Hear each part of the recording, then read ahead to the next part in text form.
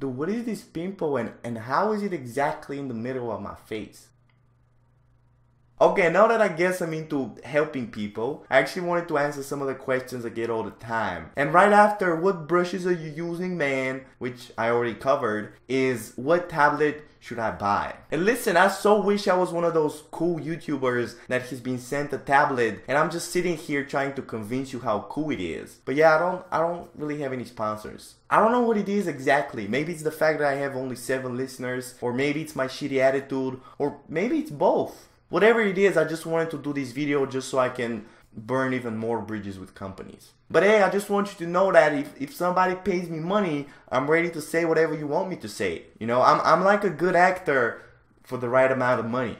And by the way, you better send me some real money and not just your shitty product. I'm, I'm really good at this. Anyway, I got here two of the most popular choices for digital painting tablets. The iPad Pro and the Wacom Intuos Pro. I don't know why they always gotta put Pro in the end. Like, I get it, you're not a noob, you can play, okay. By the way, I know the big Wacom Cintiqs are popular as well, but come on. $2,000? Is that really an option for you? Yeah, I thought so myself. But before you buy a tablet, you should decide do you want it to have a screen so you can paint directly on the tablet, or do you want to have like an actual computer and a desk and a monitor and a keyboard and a mouse and kill yourself? And I know a lot of people prefer the direct screen tablet, but I don't really get it. Maybe because I started with digital painting first and then I got into traditional. So I didn't even know what a pencil is before I was like, you know, 17. And then when I finally got into traditional drawing, I, I was like, what, what is this goofy shit and why is my hand standing in the way of me drawing? I just want to draw like a normal person. You know, like my hand is down there drawing and then I'm just looking in the complete opposite direction like a normal goddamn person. And I also know a lot of people prefer the direct screens because you can bring them with you and draw in like cafes, but come on. You know you don't have any friends. You're not going anywhere. You're staying at home, so you might as well have a real graphics tablet. But anyway, I guess it's more of a personal choice. I think if you're a designer and you're more into simple styles, then the direct screen is for you because it's more natural. But if you want to do bigger illustrations, more rendering, more details, nah.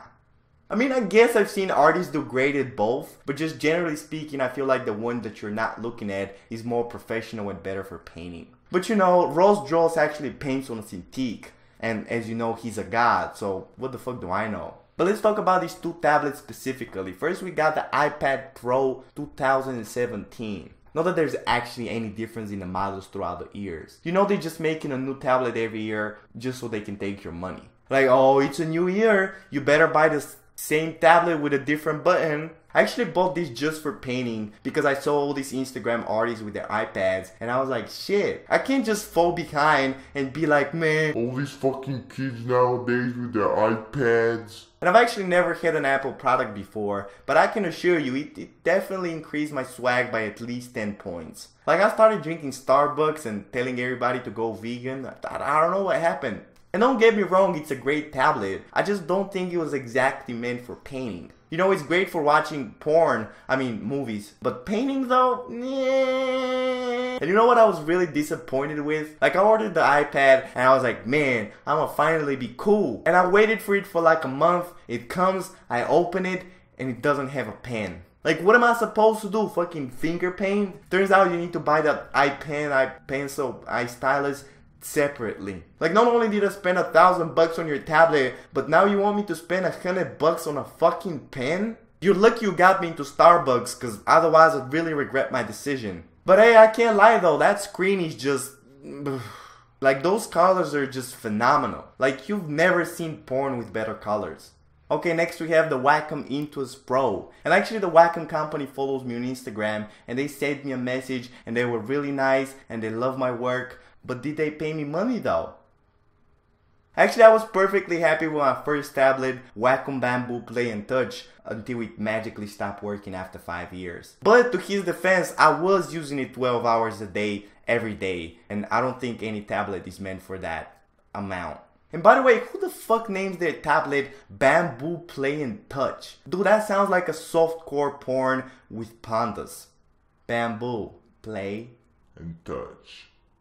So I had to switch to a more professional version Intuos Pro. But what I had missed is that in those five years, Wacom had kind of become more sort of kind of greedy. Like they just want you to buy more shit from them. Like those nips get used way too fast. Dude, that's why I change those nips more regularly than I change my underwear. And I change my underwear pretty often, like once a month.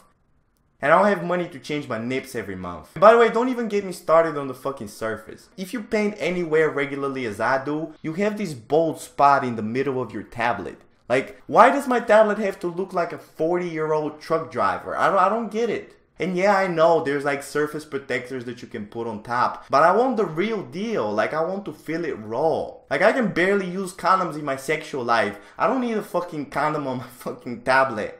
But I promise I'm a Wacom fan though. I am. I wouldn't be using their product for fucking years otherwise. You're just listening to bubbled up frustrations from years of experience. And the biggest of those frustrations is those fucking buttons on the side of the tablet. Let me tell you a secret, Wacom. Nobody uses those fucking buttons. And if they do, they're fucking stupid. Like, I don't need your five goddamn buttons when I have a whole keyboard in front of me. Yeah, Angel, but what are you gonna do if you don't have a keyboard? Well, then you can't even use the keyboard shortcut, so five buttons will not be enough anyway. Like, how about you just worry about something a little bit more important, like, I don't know, the, the surface of the tablet not looking like the rock's head.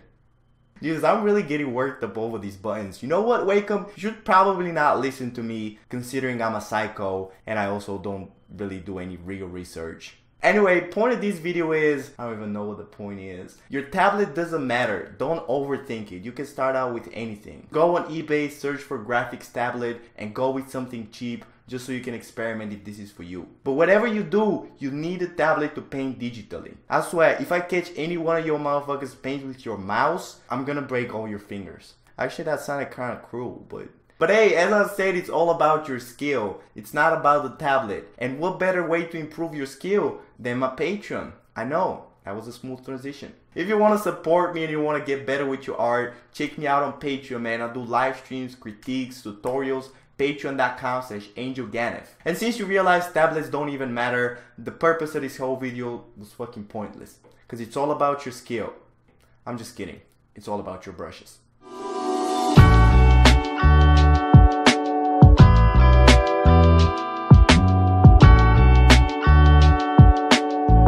Also, I just wanted to mention that I reserve my right to take any of the words that I said in this video back if I'm motivated by the right source.